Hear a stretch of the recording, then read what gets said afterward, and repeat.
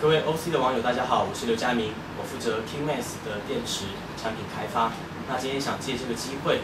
跟大家聊一聊 Kingmax 的品牌电池。那为什么 Kingmax 要来做品牌电池呢？主要各位可以想想看，我们现在的日常生活，其实手机的用量越来越大，不管是讲电话，不管是传统的传送简讯，还包括现在越来越多的应用软体，听音乐也好，然后甚至于看电视、看电影、上网。这些都已经是我们日常生活使用手机最重要的部分，也因此电池已经是越来越重要。对一个手机而言，对一个消费者而言，当然随时你都可能要备有第二颗电池。但是你怎么去选择第二颗电池呢？大部分的人是有疑虑的。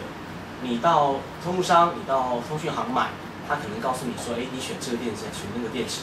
可是除了原厂的电池之外，你知道你选到什么样的电池吗？大部分人不知道。那 k i n m a x 决定从 Memory 跨足到电池产业，主要的原因也是因为我们已经拥有非常好的 Memory 的行销通路，这里面当然包含了很多通讯业者。也就是说，当你在买 Micro SD 的时候，它的通路跟你买手机的通路是一样的。所以我们希望借由这样的品牌、这样的通路，来加强 Kingmax 来帮客户、帮 User 寻找一个好的电池。那也就是因为这样子，各位可以想想看，当你买到电池，它是好的吗？我们为了做这个东西，我们做了很多的 survey，很多的实验。你可以看到，我们买的很多，不管是中国制也好，或者也许有些人说这是高仿或者是山寨的电池，我们把它真的拆了之后，它其实都缺少了电池几个很重要的元件。第一个，电池芯是它的心脏，就是说电池绝大多数就是由这个电池芯构成。电池芯的好坏几乎决定了这个电池的好坏。那另外的就是它的保护电路。一个好的电池芯，再加上好的保护电路，它就可以构成一个好的电池。常常你可以在市面上看到，哎，它有电池芯，它知道正负极在哪边，它就把它做成一个电池。可是我认为那个我们应该叫它做炸弹，一个不定期的炸弹。一个好的电池，它应该要有电池芯上面有泄气阀。大部分人把你的旧电池拆开来，你可以看到它电池有没有一个泄气阀，这是在防止我们在电池里面如果一些化学物品做了一些变化的时候。它有那个空间，让这个电池产生的压力释放出来。另外，它要有两个很重要的保护电路，一个是电路板本身，一个是 IC 那一颗 IC。电路板呢，它保护你在过度充电或过度放电的时候，可以把它先停住，保护你的电池，让你的寿命更长。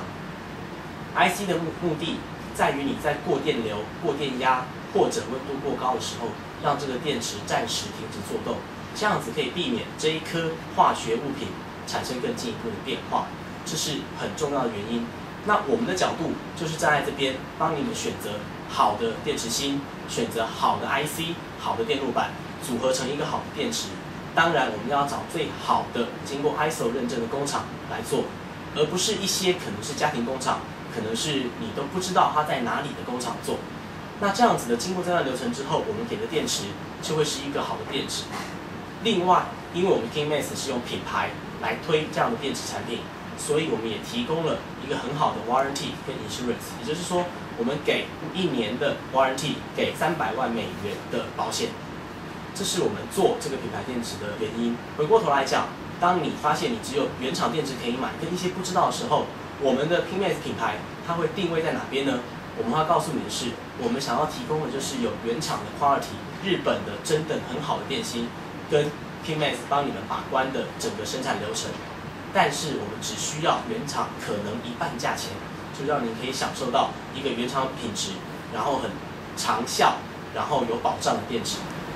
呃，今年零九年，我们先针对马来西亚跟台湾市场，先推出了十款电池，其中有八款是 Nokia 系列，另外两款是 Sony Ericsson，也就是说都跟他们是完全 compatible、完全相容的电池。那这八款 Nokia 电池其实已经 cover 了。大概已经涵盖了大约一半左右的 Nokia 的手机，然后 Sony Ericsson 这两个三三跟三八也是大概占有六成以上 Sony Ericsson 爱用者的使用的手机。那下一步我们当然除了针对 Nokia、Sony Ericsson 继续推陈出新新的电池，或者说针对现有的电池继续做一些进步之外，我们也看到刚刚提到 Smartphone 是个新兴的市场，所以针对 HTC。这个 iPhone，我们我们也会有几款的电池出现。那在不久的将来，甚至于可能 LG 跟 Samsung，然后另外在东南亚市场非常大的 BlackBerry，这是一个 smartphone 一个很长久的品牌，我们也会在明年 Q1 就会有新的产品出来。那也希望各位网友能够多多支持，